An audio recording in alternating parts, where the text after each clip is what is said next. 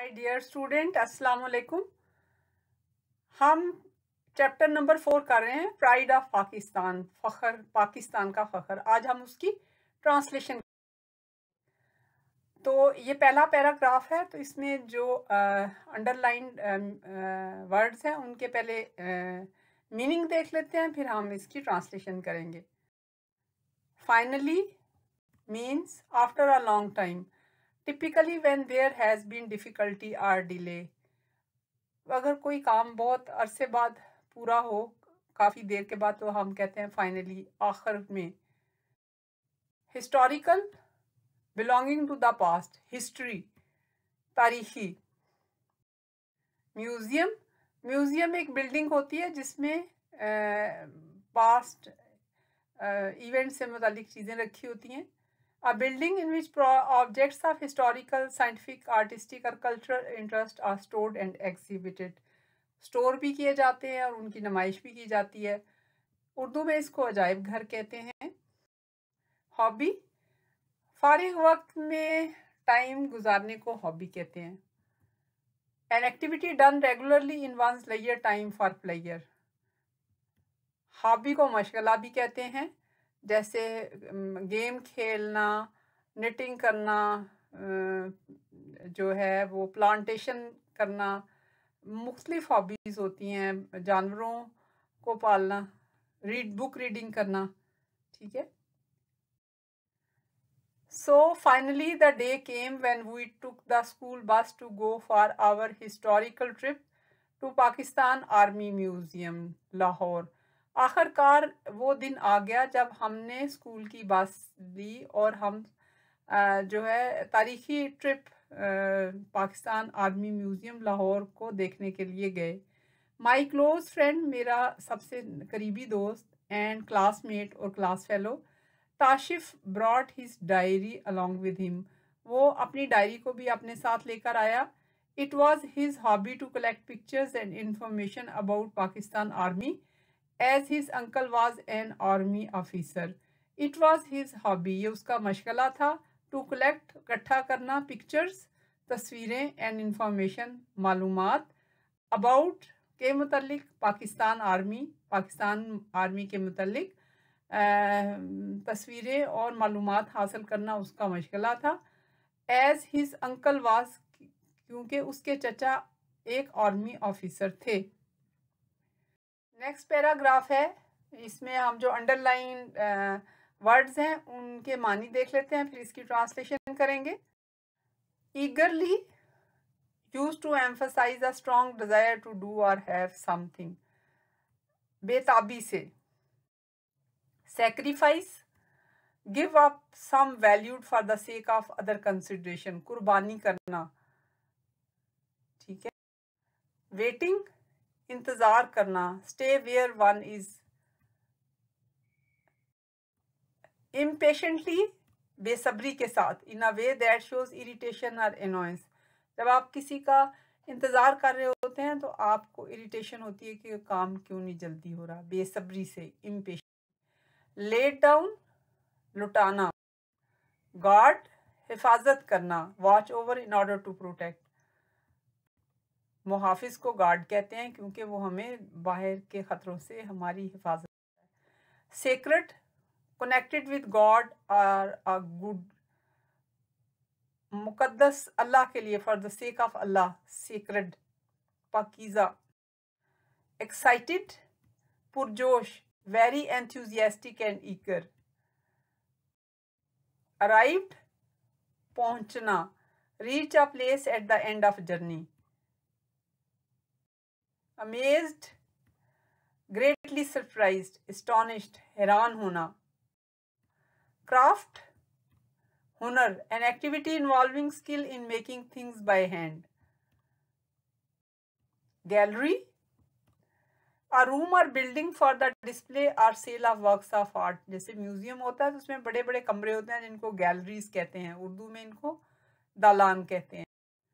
Slab तख्ते को कहते हैं। A large, thick, flat piece of stone or concrete, typically square or rectangular in shape. जैसे ये नज़र आ रहा है एक स्लैब जो है पत्थर का एक चौड़ा टुकड़ा होता है। Slabs had different names in galleries और स्लैब्स के मुख्तलिफ़ नाम थे।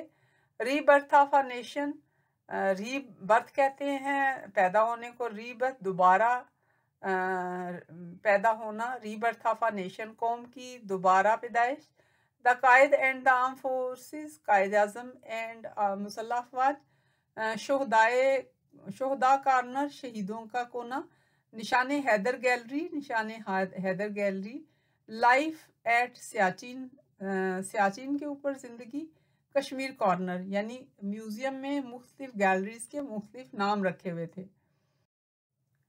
अब हम इस पैराग्राफ के मुश्किल जो अंडरलाइन अल्फाज हैं, उनका मानी देख लेते हैं, फिर इसकी ट्रांसलेशन करेंगे। Captured take into one's possession or control by force किसी और की चीज़ को कब्जे में कर लेना। ठीक है?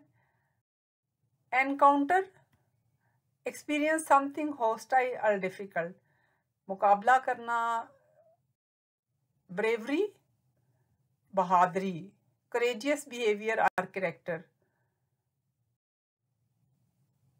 portrait a painting drawing photograph or engraving of a person especially one depicting only the face or head and shoulders शबी बड़ी तस्वीर जिसमें जैसे ये कायद अजम की तस्वीर है पोर्ट्रेट किया हुआ है एड्रेसिंग खिताब करना to a person or an assembly constituent assembly आइन साज a body or assembly of popularly elected representative जैसे हमारी नेशनल असम्बली है आइन साज असम्बली है, उसमें मुख्तलिफ़ लोग सिलेक्ट होके जाते हैं और फिर वो कानून साजी करते हैं। स्ट्रगल कोशिश. मेक फोर्सफुल और violent efforts to get free of restraint और construction जिदोजहद freedom the power or right to act speak और थिंक एज वन वांट्स अपनी मर्ज़ी के मुताबिक अमल करना आज़ादी on getting inside the museum building museum building के अंदर दाखिल होते ही I first saw four captured Indian tanks मैंने देखे चार कब्जा किए हुए Indian tank a brief history of the encounters in which these Indian tanks were captured was displayed near them a a brief history एक जो है, वो छोटी सी हिस्ट्री कि किस तरह मुकाबलों में इंडियन टैंक्स को कब्ज़े में लिया गया वाज डिस्प्लेस्ड जो कि आवेजा थी near them each and every story told us about the bravery of our soldier who fought for the country हर एक स्टोरी जिस, जो, जिसमें बताया गया था हमारे सिपाहियों की बहादुरी के बारे में, जिन्होंने अपने कंट्री के बारे में लड़ाई की। एज मैंशन बिफोर जैसा कि मैं पहले भी बता चुका हूँ one of the galleries was named rebirth of the nation एक गैलरी का नाम था rebirth of nation. I was surprise to see life size portraits of Quaid Azam मैंने कायद अजम की लाइफ साइज़ पोर्ट्रेट्स देखी। Addressing the constituent assembly of Pakistan on August 11 1947 जिसमें वो constituent assembly को में 1947 को ख़ताब कर रहे थे। This gallery was telling a story of the struggle for freedom ये गैलरी आज़ादी की जदोजहद की स्टोरी सुना रही थी। थ्रू पेंटिंग्स पेंटिंग के ज़रिए फ़ोटोग्राफ्स फ़ोटोग्राफ्स के ज़रिए एंड द ब्रीफ इंफॉर्मेशन और थोड़ी मालूम के ज़रिए। नेक्स्ट जो पैराग्राफ है, उसमें हम बहुत सारे अल्फाज पहले जान चुके हैं तो हमें सिर्फ़ एक्स्ट्रा ऑर्डनरी का मालूम करना है, फिर हम इसकी ट्रांसलेशन एक्स्ट्रा ऑर्डनरी कहते हैं वेरी अनयूजल आर रिमार्केबल गैर मामूली। आई a few more sections there and finally went to the निशान हैदर गैलरी मैंने कुछ और सेक्शन यहाँ पे देखे और फिर फाइनली आखिरकार मैं निशान हैदर गैलरी में चला गया। Here I came to know यहाँ पे मुझे पता चला about the Nishan Haider and it's value निशान हैदर क्या होता है उसकी कदर कीमत क्या होती है।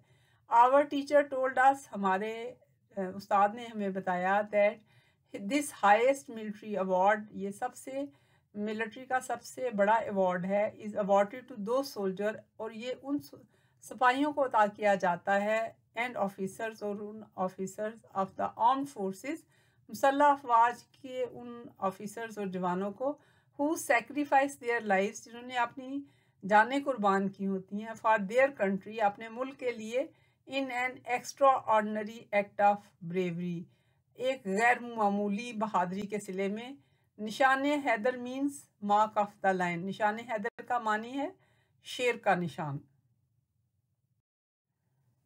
नेक्स्ट पैराग्राफ में हम जो अंडरलाइन वर्ड्स हैं, उनके पहले मानी देखते हैं, फिर इसकी ट्रांसलेशन करें मार्टर कहते हैं शहीद को kill someone because of their belief जैसे अल्लाह की राह में शहीद होना, क्योंकि फेथ अल्लाह अपने मुल्क की हिफाजत करते हुए लड़ते हुए मर जाने को कहते हैं। Proud satisfaction as a result of one's own achievement फ़ख्र, अपनी अचीवमेंट्स पे फ़ख्र में hero a person who is admired for their courage hero उसको कहते हैं, जो उसकी बहादुरी की वजह से लोग उसकी तारीफ़ करते हैं और उसकी नोबल क्वालिटी उसके अंदर क्वालिटीज़ बहुत ज़्यादा नेक होती हैं।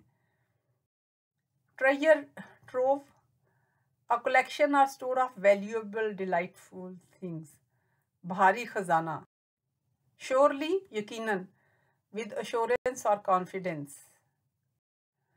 the pictures of martyrs made us so proud शहदा की तस्वीरों ने हमें बहुत ज़्यादा फ़ख्र हमने महसूस किया दोज वार आवर हीरोज़ ये हमारे हीरोज़ हैं ताशिफ टुक देयर पिक्चर्स ताशिफ ने उनकी पिक्चर्स ली।